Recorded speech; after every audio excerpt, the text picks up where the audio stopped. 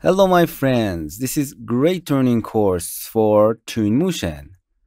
We want to teach you Twinmotion real-time rendering software and ready to be able to use all its, its features for architectural rendering and so on.